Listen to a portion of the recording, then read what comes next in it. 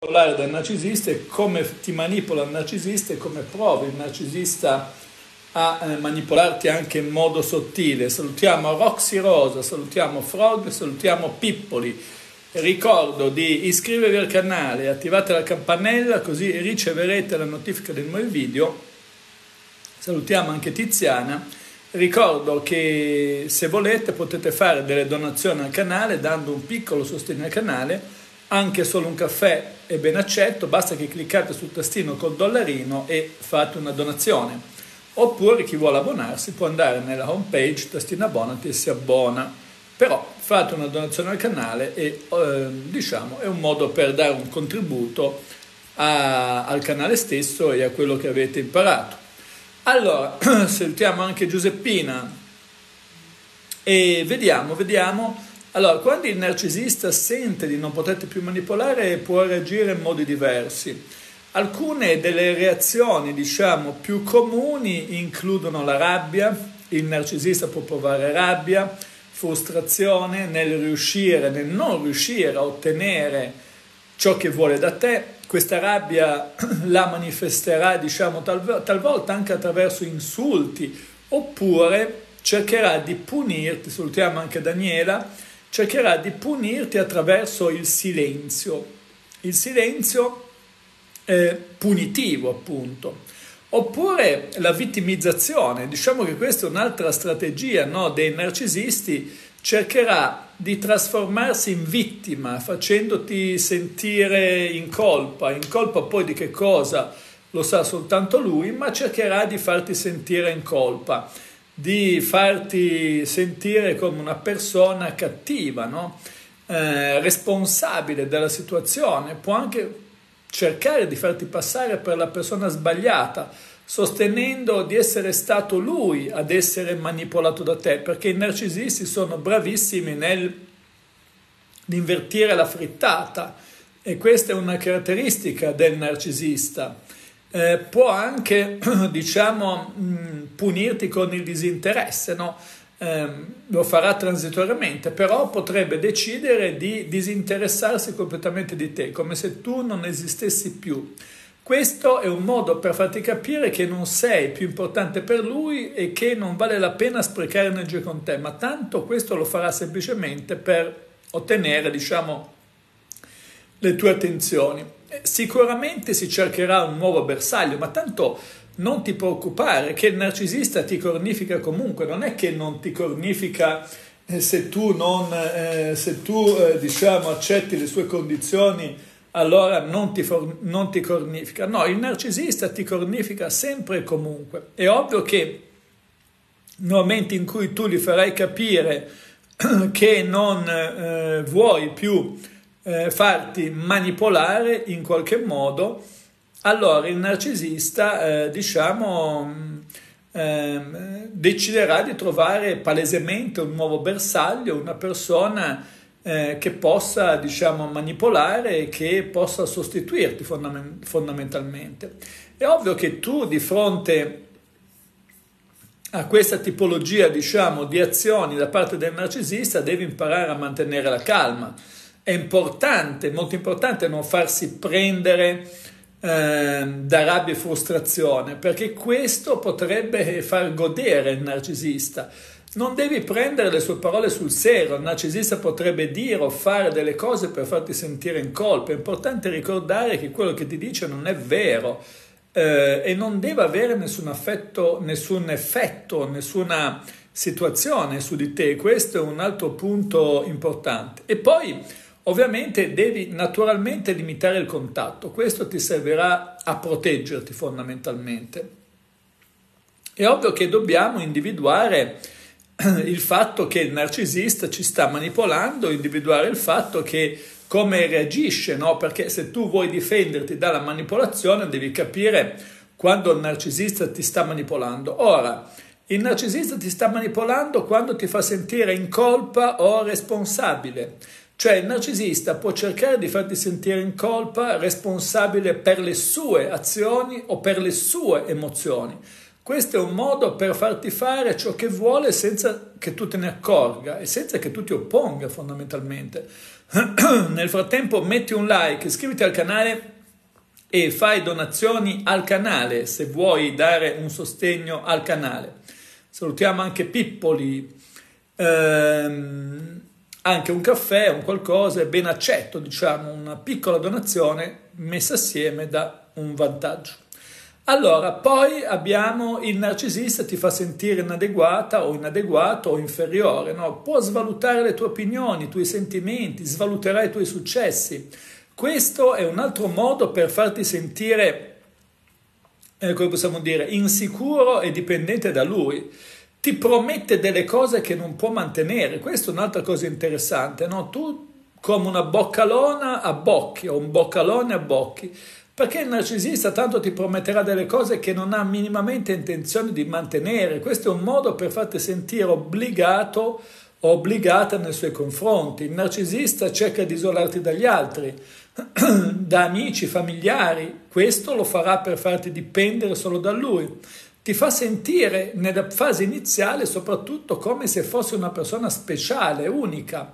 Questo è un modo per farti love bombing, coinvolgerti e, eh, e tieni presente che eh, se noti questi segnali devi fare attenzione perché è probabile che hai a che fare con un narcisista, devi fidarti del tuo istinto, se qualcosa non ti sembra giusto in quella persona probabilmente non lo è, non devi lasciare che ti faccia sentire in colpa o che ti faccia sentire responsabile di cose per le quali tu non sei responsabile. È importante ricordare che non sei responsabile per le azioni o per le emozioni del narcisista. Se lui ti mantiene qualcosa che poi ti promette qualcosa che non può mantenere, eh, beh, tu scriviti tutto, prendi nota di tutto, giorno, data, luogo in cui ha detto quella cosa e poi rinfacciagliela in tutti i modi. Evita non lasciare che ti isoli dagli altri. Questa è un'altra cosa molto importante perché se lasci che ti isoli dagli altri sei fottuto, sei fottuta. Devi imparare a mantenere i contatti con gli amici, con la famiglia, perché questi contatti possono fornirti un supporto, ma poi possono aiutarti a vedere la, la faccenda, diciamo, in modo più obiettivo. Altra cosa molto importante, non innamorarti del narcisista. Salutiamo Rosi, se ti innamori del narcisista eh, sei una cogliona o sei un coglione. Questo devi tenerlo presente, cioè chi si innamora di un narcisista di fatto è un mentecatto, è un poveraccio, è un disgraziato, una poveraccia, una disgraziata. I narcisisti saranno sì bravi a manipolare le emozioni delle persone, però è importante ricordare che tanto non ti ameranno mai, no? Perché devi innamorarti di uno che non ti ama? È praticamente una situazione di totale deficienza, no? Cioè, io credo che sia una delle cose più stupide che una persona può fare, cioè innamorarsi di uno che non ti ama, di uno che non ha empatia nei tuoi confronti e tu ti vai a innamorare. Eh, quindi a me spiace dirlo, no? ma chi si innamora di un narcisista poi non si deve lamentare. È come quello che va a comprare delle acciughe in salmoia e poi si lamenta, diciamo, eh, e poi si lamenta che, eh, che, le acciughe in salmoia sono salate. Eh, eh, cioè, ma sono salate, sono, si chiamano acciughe in salmoia e come puoi pensare che non siano salate? No, se pensi che le acciughe in salmoia non siano salate, sei un cretino o sei una cretina. Quindi questo è un punto fondamentale. No? Le persone che mi dicono, eh, ma io lo amo, io lo amo, eh, ma io lo amo, io lo amo, eh, no, no, io lo amo, io lo amo, eh, io lo amo, io lo amo. Eh, se tu lo ami, eh, come dire, sono fatti tuoi, non ti devi lamentare poi, no? puoi amare anche un serial killer, no? Ci sono quelli che si innamorano anche di serial killer, ma poi se ti innamori di un serial killer non ti devi lamentare se quello ti taglierà la gola o ti, come dire, scioglierà nell'acido. Eh, perché sei tu che ti sei innamorata di un serial killer. Eh, eh, ci sono quelli che scrivevano le lettere d'amore in carcere, come si chiama, a quello lì che, eh, diciamo, aveva sgozzato, eh, come si chiamava, il mostro del Circeo, lì, quello che aveva, non so, ammazzato non so quante donne, e quello riceveva lettere d'amore in carcere di donne che volevano sposarlo, no? E, cioè, tu, ma quelle lì, cioè, ma che che, che testa possono avere? Se uno ha la testa così, problemi suoi. Um, diciamo, per identificare la manipolazione narcisistica ci sono tre punti che devi prestare attenzione molto importanti, che sono eh, fai attenzione al linguaggio del corpo. Il linguaggio del corpo può rivelare molto sulle intenzioni di una persona. Se noti che è narcisista, e adesso poi andremo a vedere, o che la persona con la quale interagisci mh, mm, usa un linguaggio del corpo in modo inappropriato o manipolatorio, è importante essere cauti. Devi anche prestare attenzione al tono di voce. Il tono di voce può anche essere un indicatore delle intenzioni di una persona. No? Se la persona con la quale interagisci usa un tono di voce che ti fa sentire a disagio, insicuro, è importante prestare attenzione ascolta bene le parole e le frasi che dice. Le parole e le frasi di un narcisista possono anche essere segno della manipolazione. Se il narcisista, ad esempio, usa complimenti esagerati, promesse che non ha intenzione di mantenere, critiche indirette, è importante essere cauti, è importante eh, prestare attenzione fondamentalmente. Questo credo che sia un punto molto importante che tu devi prendere in considerazione. Vediamo un attimino di capire qualcosa di più. Eh... Ah sì, anche Valanza... Valanzasca addirittura si è sposato, credo, Roxy. Credo che Valanzasca addirittura si sia sposato. Ma, eh, come dire, ci sono persone eh, ci sono persone che, eh, che, comunque Valanzasca non è il mostro del Circeo, è il mostro del Circeo un altro, è Angelo Izzo. Comunque eh, dovete tenere presente questo, che ehm, se voi eh, vi innamorate, diciamo, ma Valanzasca non è il mostro del Circeo, comunque anche Valanzasca c'è un bel po' di omicidi sul gobbone, ma perlomeno non era un serial killer mentre quello lì del Circeo era proprio un serial killer, adesso credo che sia morto, non so se è morto o meno, ma comunque riceveva lettere d'amore fondamentalmente. E, e, ma, sì, ma ecco il fatto che questi siano mostri noti, persone così, e il fatto che ci siano dei deficienti, in questo caso delle deficienti, che si innamorano di questi, e beh, è un problema loro fondamentalmente come è un problema vostro eh, se vi innamorate di un narcisista e, state col narcisista, no? e poi vi lamentate che il narcisista vi tartassa, vi abusa, ve ne fa di cotte e di crude, ma quello è il suo, è il suo istinto, no? È come se vi metteste, andaste a dormire in un letto pieno di scorpioni e poi al mattino vi lamentate che gli scorpioni vi hanno, vi hanno morsicato, vi hanno punto, eh, ma lo scorpione che cosa pensate che faccia, diciamo, il massaggio, il massaggio ayurvedico se vi mettete lo scorpione nel letto? Eh, voi vi mettete gli scorpioni nel letto, poi vi lamentate, eh ma mi appunto, mi appunto, eh ma mi appunto lo scorpione, mi appunto. Eh, cosa pensate ti facesse il massaggio ayurvedico? Cosa pensate che ti facesse lo scorpione? È lo stesso discorso e con il narcisista, no? se tu hai a che fare con un narcisista ti manipolerà, ti tartasserà, ti rovinerà la vita, ma eh, cioè, quello è la caratteristica del narcisista, come lo scorpione ha la caratteristica di pungere, il narcisista ha la caratteristica di manipolare, se poi tu te ne accorgi e te lo tieni, cazzi tuoi, è come dire, se uno è cretino è cretino, no? chi nasce cretino è difficile che muoia furbo.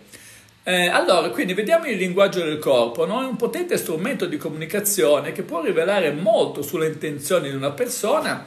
I narcisisti in particolare sono maestri nell'utilizzo del linguaggio del corpo per manipolare gli altri. Ci sono alcuni segnali che possono indicare che un, del corpo che un narcisista ti sta manipolando, ad esempio un contatto visivo eccessivo o inappropriato. Cioè il narcisista può mantenere un contatto visivo costante, cioè quindi ti guarda fisso, eh, questo per cercare di intimidirti, per cercare di farti sentire a disagio. È un segnale questo del linguaggio del corpo eh, con il narcisista eh, è un segnale importante perché ti fa capire che ti sta manipolando. Oppure un sorriso eccessivo, un sorriso innaturale, no? Il narcisista può sorridere, avete presente no? il sorriso di Berlusconi, buonanima, che sorrideva sempre in modo eccessivo, innaturale, per cercare di sembrare amichevole, per cercare di sembrare simpatico, no? Quello, il sorriso alla Berlusconi, diciamo, è il tipico sorriso del narcisista fondamentalmente, no? che utilizza un sorriso anche quando non è, non, non è, il caso, diciamo, è un sorriso innaturale, eh, eccessivo, eh, per cercare di sembrare amichevole, per eh, cercare di sembrare simpatico, ma in realtà non lo è. Eh, poi, cioè in realtà te lo vuol buttare, poi la posizione del corpo dominante, un narcisista può assumere una posizione del corpo dominante, un narcisista può eh, assumere, diciamo, eh, un, eh, una posizione del corpo dominante e, e, e questo, ad esempio, stare esattamente con le gambe larghe, le braccia sempre incrociate, ehm, il dito puntato per cercarti di intimidirti o farti sentire inferiore, perché giustamente il narcisista cerca di farti sentire inferiore. Ehm, poi anche i gesti esagerati, no? un narcisista può usare gesti esagerati, eh, anche eh, gesticolare in modo eccessivo, per eh, diciamo far sembrare le sue affermazioni più importanti. O ad esempio il contatto fisico, il narcisista può toccare in modo inappropriato eccessivamente per generarti delle micro tensioni, queste tra l'altro sono strategie, no? Ma per farti sentire a disagio. Ovviamente bisogna dire che non è che questi segnali sono sempre indicativi di una manipolazione narcisistica Tuttavia, se trovi, eh, come dire, una persona che usa questo linguaggio del corpo, come ho spiegato adesso, presta attenzione perché potrebbe essere, devi solo prestare attenzione, insomma, fare un po' più attenzione se ci sono altri, altri segnali. Eh, ma comunque fai anche attenzione al contesto, no? il linguaggio del corpo può essere interpretato in modi diversi a seconda del contesto. Ad esempio, un sorriso può essere segno di felicità o di nervosismo, quindi è importante prestare attenzione al contesto in cui, usati, in cui viene usato il linguaggio del corpo. E poi fidati un po' del tuo istinto, se qualcosa non ti sembra giusta probabilmente non lo è, se hai l'impressione che quella persona stia usando un linguaggio del corpo per manipolarti è probabile che lo stia facendo, quindi questo è un punto importante. Poi un altro strumento, diciamo, che può essere utilizzato non verbale, che può essere utilizzato nella manipolazione, è il tono di voce. Ci sono alcuni, alcune tipologie di toni di voce che possono indicare che un narcisista o una persona sta cercando di manipolarti. Il tono di voce aggressivo!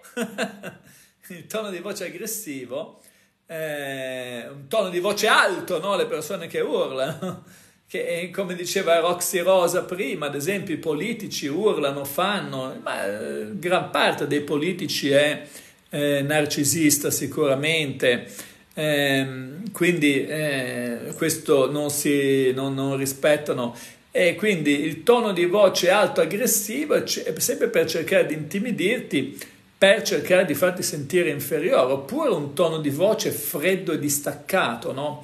per punirti, per farti sentire inadeguata o inadeguato, ma talvolta anche un tono di voce manipolatorio, no? un tono di voce particolarmente suadente che cerca di adattarsi alle tue caratteristiche, insomma per cercare di farti fare qualcosa che tutto sommato tu non vuoi fare. Ehm, Anche in questo caso fai attenzione al contesto perché il tono di voce può essere interpretato in modi diversi a seconda del contesto e fidati del tuo istinto.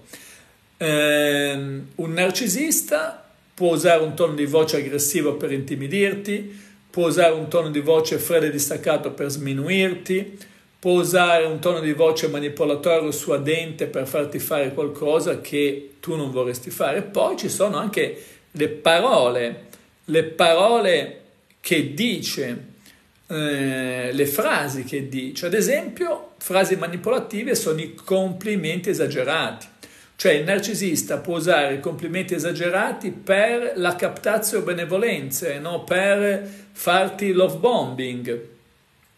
Tieni presente che quando i complimenti sono esagerati eh, hai sempre Rocco dietro pronto a infilartelo fondamentalmente e Rocco te lo infilerà al brucio, te lo infilerà senza neanche la vasellina di colpo eh, e tu dici eh, ma non me ne sono accorta, eh ma io lo amo, io lo amo, io lo amo, eh, io lo amo, io lo amo. E allora se amavi uno scorpione ti mettevi uno scorpione nel letto così ti pungeva e ti distruggeva, eh, non lo so, intanto mettete un like, non fate i soliti barboni fate donazioni al canale, fate donazioni al canale, non fate i barboni, non fate le barbone, perché se acquisite qualcosa, acquisite delle informazioni, è giusto che facciate delle donazioni e che non facciate i soliti barboni, i soliti morti di fame, i soliti poveracci che non fanno donazioni. Quindi cercate di non essere barboni più di tanto, un po' barboni sì, ma siccome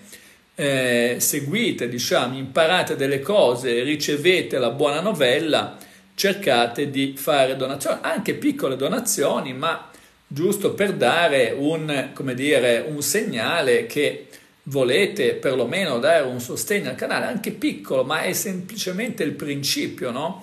È semplicemente il principio e quindi questo è, è fondamentale, no? quindi fate delle donazioni se volete, poi se non volete farlo rimanete barboni, vergognatevi e rimanete barboni, anzi magari non vi vergognate neanche, ad esempio i narcisisti non si vergognano neanche.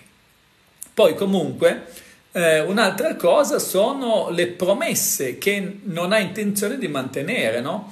Quindi se questo continua a prometterti delle cose che tanto poi non farà mai, eh, che non ha intenzione di mantenere, eh, quindi fai attenzione perché questo è un altro punto fondamentale che devi prendere in considerazione.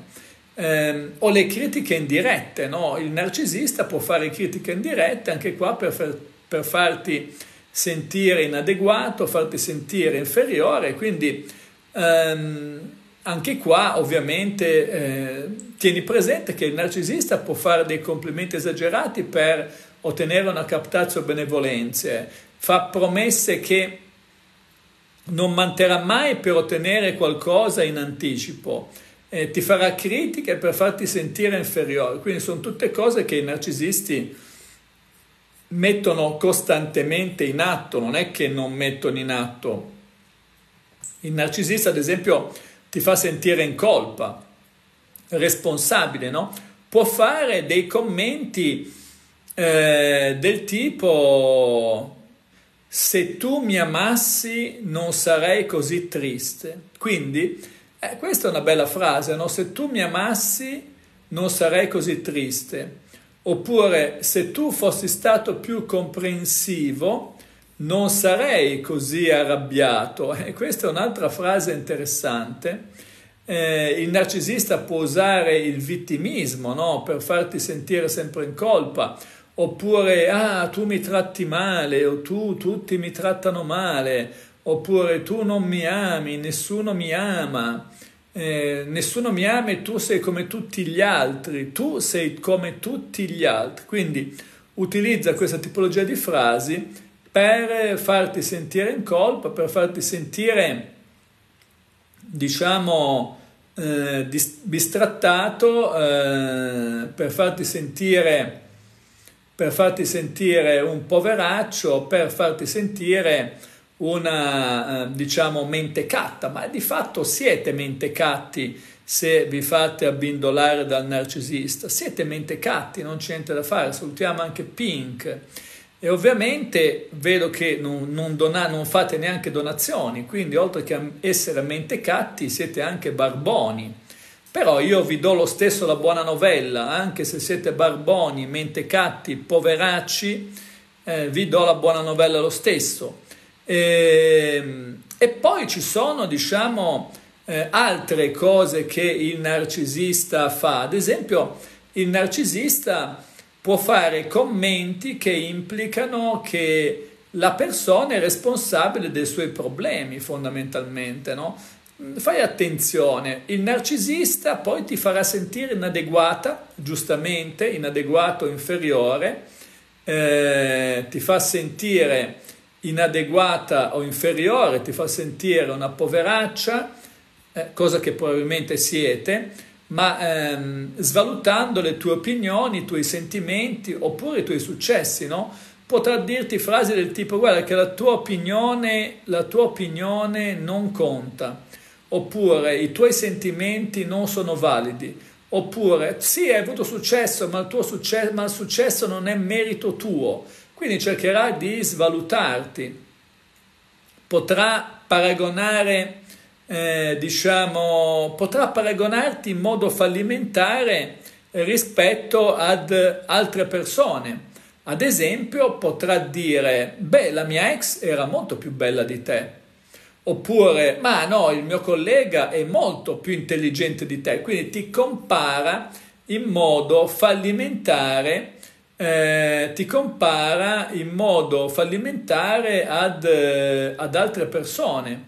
Quindi questo è un punto, è un punto molto importante, no? dovete tenere presente che questo è un punto fondamentale, un punto importante. Chi volesse fare donazione è molto semplice, Basta andare sul tastino col dollarino, sotto la chat c'è un tastino col dollarino, anche un disabile mentale, diciamo, può vedere il tastino col dollarino, cliccare lì sopra e fare una donazione. Non è che ci vuole uno scienziato, basta cliccare dove c'è la chat, sotto la chat c'è un tastino col dollarino e cliccare lì e anche un cretino riesce a farlo. Eh, poi, eh, diciamo, ehm, il narcisista, ad esempio, può fare commenti che eh, cercano di farti sentire inadeguata, farti sentire inferiore. Ad esempio, può dire: Beh, non sei abbastanza brava, non sei abbastanza bravo, oppure non sei abbastanza bello, non sei abbastanza bella, non sei abbastanza intelligente. Tutte queste cose servono sempre per farti sentire inadeguata, per farti sentire inferiore, per farti sentire più debole. E poi, come dicevamo, la specialità del narcisista è fare promesse vane, cioè il narcisista è abile nel fare promesse vane. Non è che ci vuole molto a fare promesse vane. Le promesse vane, eh, le promesse vane il narcisista le fa e le fa anche frequentemente. Quindi tenete presente anche questo che il narcisista fa spesso promesse vane, ehm, ti promette cose che neanche può mantenere, ma poi anche qua le, le donne si fanno infinocchiare, cioè le donne spesso si fanno infinocchiare come delle allocche, no? Si fanno infinocchiare come delle allocche, per dire, eh, un narcisista e tu sei cogliona che ci credi, che eh, ti promette, diciamo, che ti promette eh, delle cose che non può mantenere, magari è un catramista come te, siete due, tu, lui è un catramista, tu sei una sciampista, quindi siete due spiantati fondamentalmente, però lui ti dice no, ma io ti voglio sposare, no, no, io ti voglio sposare, non ti preoccupare che ti voglio sposare. E ti porta, diciamo, eh, però voglio, voglio una casa splendida per noi, no? Ti porta a vedere delle residenze, magari che ne so, eh, da milioni di euro, questo non c'ha neanche i soldi per comprarsi, non c'ha neanche i soldi per comprarsi, che ne so, una capanna e, e ti fa vedere, no? ti porta, no? va, va, da, va dalle, agenzie immobiliari, fa vedere, va a cercare le case più belle, no? milioni di euro, te le fa vedere, tu come una, una, una diciamo, allocca, no? come una allocca, eh, come una allocca, salutiamo anche Giada, eh, come una allocca, eh, come una allocca fondamentalmente eh, crede a queste cose e dice, uh, vuol comprarmi la casa, vuol comprarmi una bella casa, pensa che siamo andati a vedere una casa da 7 milioni di euro, 10 milioni di euro, mi ha portato a vedere una villa a Monte Carlo, pensa, siamo andati a vedere una villa a Monte Carlo da 32 milioni di euro. E questo non c'ha neanche 32 euro, non è che non c'ha 32 milioni di euro, non c'ha neanche 3.000 euro per dire, no? È proprio uno spiantegato morto di fame, messo in croce. Salutiamo la nostra Betty Kotic, Betty, perché, come dire, eh, questo ti racconterà delle cose, ma il problema non è che quello ti fa vedere la residenza a Monte Carlo da 32 milioni di euro. Il problema è che sei tu che sei una locca che ci credi, no? E questo è il tuo bisogno. E sei una poveraccia e quindi da poveraccia credi a tutto, no? Quindi ti farà delle promesse che non potrà mai mantenere, perché quello, eh, come dire, non, non avrà mai no, queste cose qua. Oppure ti prometterà no, delle cose, ah io farò questo, farò quello per te, non ti preoccupare, eh, ma guarda io non vedo l'ora di sposarti, non vedo l'ora di, eh, diciamo, di avere dei figli con te, ma i figli non li vorrà avere neanche, cioè da te poi che sei una sciampista, ma figurati se questo il narcisista potrebbe voler dei figli da te se tu fossi, eh, che ne so, se tu fossi, possiamo dire, se tu fossi una, come possiamo dire, una ricca ereditiera, allora il narcisista ti sposerebbe. Ma visto che sei una sciampista, una mentecatta, una poveraccia, Oh, ringraziamo Roxy, Roxy Rosa, grazie Roxy. Visto che sei una mentecatta, una poveraccia, una disgraziata, figurati se questo eh, fa qualcosa per, eh, diciamo, figurati se questo fa qualcosa per, eh, come possiamo dire, mm, ti sposa. No? Il narcisista non è che si sposa per un motivo che non sia altro che, eh, come possiamo dire, eh, una motivazione legata, una motivazione legata a, a, un interesse personale. Quindi il narcisista ti sposerà di sicuro se tu... Ecco, il fatto che tu... Il fa, ecco, questo è interessante, no? il fatto che il narcisista non ti sposi è semplicemente significa, semplicemente significa che tu sei una poveraccia che tu sei una poveraccia, perché se tu fossi una ricca ereditiera, stai sicura, stai sicuro che il narcisista ti sposerebbe anche non soltanto se tu fossi una ricca ereditiera eh, giovane e bella, ma anche se fossi una ricca ereditiera vecchia e brutta. Anzi, per il narcisista, se tu fossi una, una vecchia ereditiera eh, brutta e vecchia, più vecchia sei, meglio è, questo è la cosa interessante, no? Si ribalta la situazione, no? Si ribalta la situazione. Per il narcisista più vecchia, più devi essere ricca, perché se sei povera, che tu sia bella, che tu sia brutta, che tu sia mezzo e mezzo, se sei povera, il narcisista di te non ne vuole sapere. Il narcisista di te non ne vuole assolutamente sapere. Quindi eh, se sei povera, mh, gliene frega niente di te. Se invece sei ricca, allora più vecchia sei, meglio è, perché il narcisista ti sposa, no? Quindi questo è il problema, no? Quindi il fatto che il narcisista non ti voglia sposare non è che certifica del fatto che non ti ama abbastanza, perché tanto non ti amerebbe comunque, certifica solo il fatto che tu sei una poveraccia, sei una mentecatta e che quindi non ha interesse a sposarti fondamentalmente. Ehm, quindi poi il narcisista utilizza spesso il bastone e la carota, no? Ehm, eh, tipo potrebbe dire, ah, ti prometto che cambierò, ti prometto che cambierò, non ti farò più del male, non ti farò più soffrire. Il narcisista utilizza queste, queste, diciamo, questo tipo di frasi.